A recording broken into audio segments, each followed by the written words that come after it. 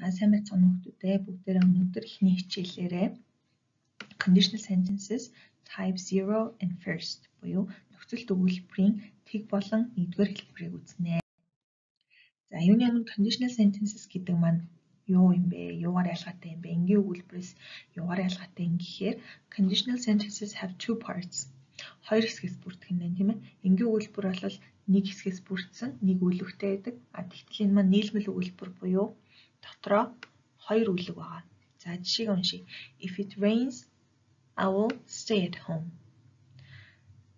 If хэрвээ бороо орвол би гэртээ байна гэж. If clause буюу нөхцөл заасан өгүүлбэр, main clause буюу гол өгүүлбэр гэсэн хоёр үг хэсгээс бүрдээд байгаа тийм ээ. За, we can reserve, reverse the order. If it rains, I will stay at home or I will stay at home if it rains. За, if clause, main clause хоёрын маань байран солигдож болно. Утга нь ялгаа байхгүй. А тэгтээ if clause эхлээд орж байгаа тохиолдолд comma буюу таслал заавал авдаг шүү. Type 0 буюу general conditionals.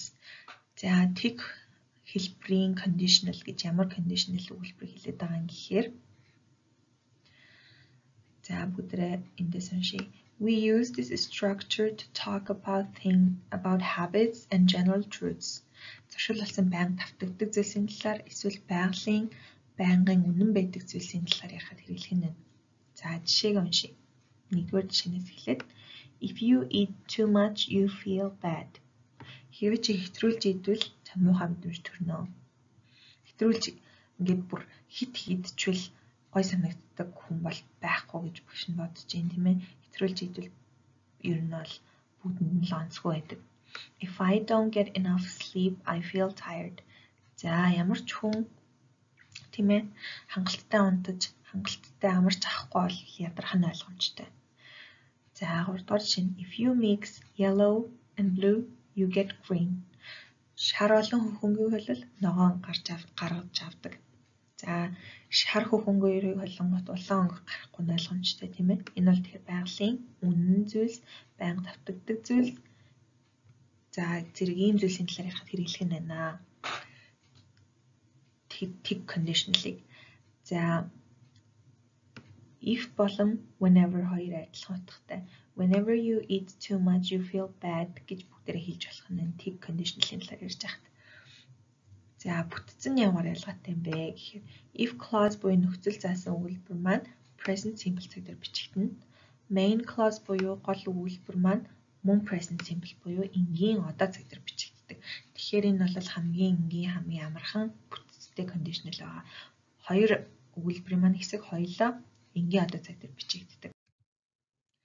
За тэгвэл first conditional буюу хоёрдугаар хэлбэр нь тийм ээ юугаар ялгаатай юм бэ ямар үед хэрэгэлт юм бэ гэхээр we use this structure to talk about things that may happen in the future гэж may happen гэснийг бүгд анхаараарай юу юм гэхээр ирээдүйд тохиолдох магадaltaй биелж болцшгүй зүйлсийн талаар ирээдүйн талаар ярихад хэрэгэлдэг байна. За жишээнээс уншиж нэгдүгээр жишээ if he runs he will get there in time. Хэрвээ тэр гүүвэл цагтаа амжиж очихно гэж байна гүүхгүй удаан явах юм бол хоцрох магадaltaй нь тий. Гэхдээ хэрвээ одоо гүүх юм бол цагтаа очино гэж байна. Хоёрдугаар жишээ нь if I come home early I will cook. Хэрвээ би гэртээ эрт ирвэл хоол хийнэ. Хэрвээ ороод ирэх юм бол чадахгүй ч гэсэн хэрвээ эрт ирвэл би хийнэ гэж байна. Тэгэхээр энэ бол биелэх боломжтой байна тий. За бүтцэн юу гэхээр if clause буюу цэнхрээр тэмдэглэсэн өгүүлбэр хэсгийг анхаараарай.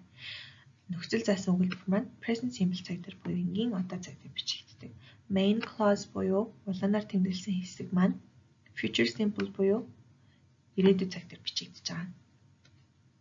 Future simple маань will гэсэн хэлбэрийг ашигладаг. За ингээд багшин сүлд нь багахан хэмжээний даалгавар оруулсан энэ даалгаврынхаа өгүүлбэрүүдийг сайхан бичээд тэмдэглээд багш руугаа явуулаарай.